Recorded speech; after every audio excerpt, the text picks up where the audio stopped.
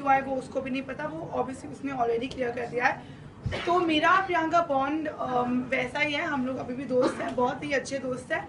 और हमें कोई फ़र्क नहीं पड़ता कि कौन क्या सोचता है और क्या क्या बातें बोलता है या हम कोई डिस्टेंट डिस्टेंस नहीं मेंटेन करने वाले या दुश्मन नहीं बनने वाले। इट जस्ट थोड़ी चीज़ें उसने बोली थी, जो उसने क्लियर की बाहर आके कि मैंने ऐसा बाय मिस्टेक बोला या मैं सोच नहीं रहा था वट और मैंने भी जो बाहर आके बोला कि तूने ऐसा क्यों बोला, वो सब क्लियर हो गया।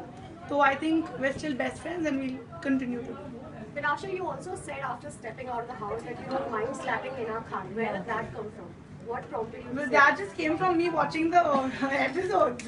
How difficult is that? तो um, मेरी दुश्मनी किसी के साथ नहीं थी घर में सेंटर कैमरा कैमरा मेरी दुश्मनी किसी के साथ नहीं थी घर में पर um, जो लोग अगर अगर दोस्त बोल के पीछे से वार करते हैं तो वो मुझे बिल्कुल अच्छा नहीं था वो मुझे बहुत बहुत गुस्सा आता है when somebody calls you their friend and then bitches about you तो अगर वो मेरी दुश्मन होती शो में या अगर मेरी मेरी एनिमी होती या मुझसे नफरत करती होती तो I be completely fine with her talking crap about me talking bullshit about me पर उसने दोस्त बन के भी ये चीज़ की है तो इसीलिए आई वाज लाइक लाइक मैं जो सोचती थी वो ये बिल्कुल नहीं है। और फिर मैंने दूसरे भी शॉर्ट्स सीखे जहाँ वो सबकी बिचिंग करती है not only about myself so I think overall I don't just not like her particularly because of me but I think she spoken a lot of bullshit about a lot of people. जो नहीं करना चाहिए, at least not on national television.